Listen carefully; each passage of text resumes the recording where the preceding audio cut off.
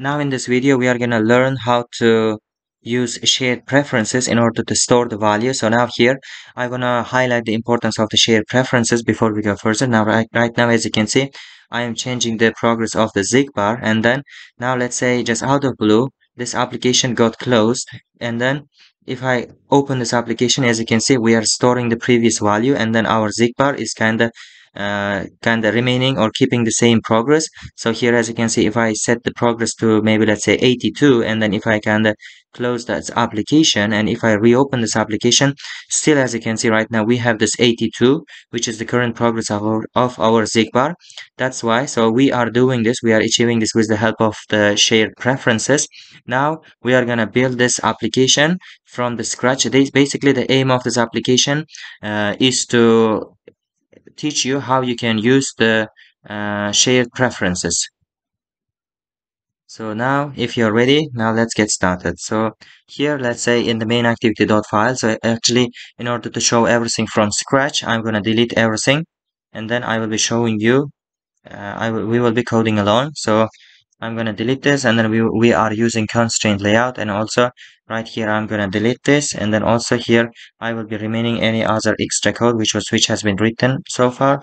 And then if I create so and then I'm right now I'm pressing control alt uh, L in order to format the code. So right here what we are going to do is just we are going to open this uh, we are going to expand this uh, view a little bit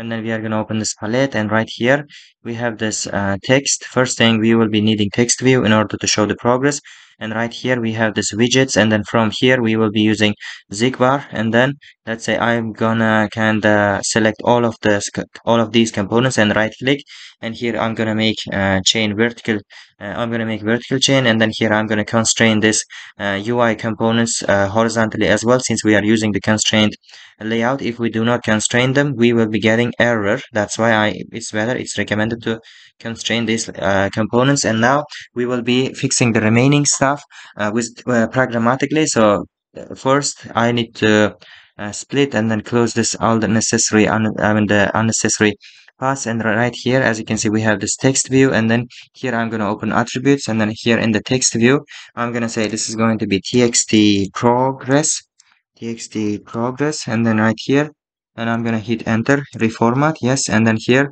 we have SeekBar and then it's going to be let's say seek progress okay so right here we have progress and then hit enter. And after that one so let's say I'm gonna delete this text because we don't need this text. Instead I'm gonna uh, declare in, change the txt size. Let's say it's going to be 30 sp and after this one i'm going to define the txt style as well. So txt style and it's going to be bold so that it can be visible.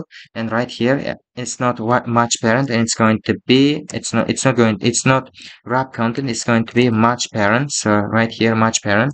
And now so let me close this. And then the, the same applies to the SeekBar as well. So here in this case we are going to change change this to match parent. And then let's say and then so here in the text view i want the text to be shown in the middle of the text view. That's why i'm going to use the uh, gravity parameter. So it's going to be center. And now uh, let's move on to main activity file so in the main activity.java file and then right here i'm gonna uh, declare those components. Let's say private. And then here first component we had is txt view and it's going to be txt progress. And then after this one we have another component which is SeekBar so it's going to be SeekBar and then seek progress so right here. And then after this one we have this shared preferences. This is the main uh, component which we will be using in order to store our uh, integer value. And after this one we have this uh, this this also has to be uh, private private. And then after this one we have this uh, another uh, variable. So it's going to be private final static private static. So it's going to be static final and then it's going to be final and then it's going to be string. And right here uh, it's going to be let's say key. And then right here we say stored stored value. Actually it depends on your preference. Depending on your preference you can change it.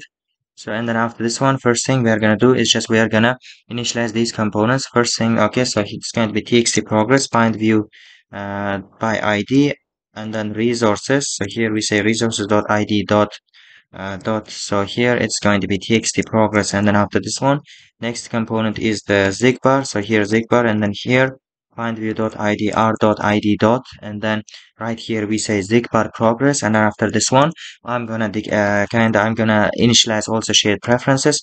It's going to be shared preferences equals and then here get shared preferences. And in the name right here actually it is optional. Whatever you write for instance let's say i just write random and then here in this uh, i'm gonna declare the context. Context so here basically uh, context.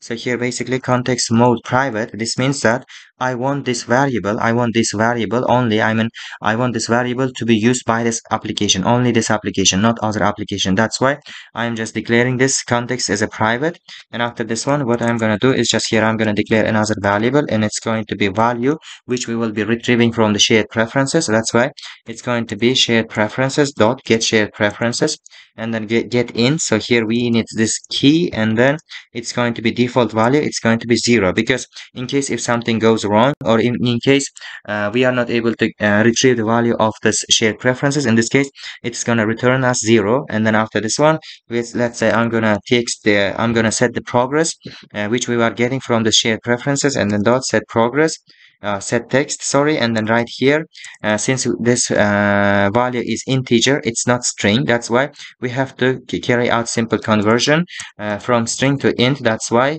from int to string integer to string and then right here we will be saying value. And after this one i'm gonna uh, change the progress of the SeekBar. So it's SeekBar progress and then it's going to be set progress and it's we are gonna pass uh, this value. This is uh, integer and then right here and then if I run this application so we are going to run this application in order to make sure that nothing is going wrong. And then right here as you can see we are getting zero because right now the default value is also zero.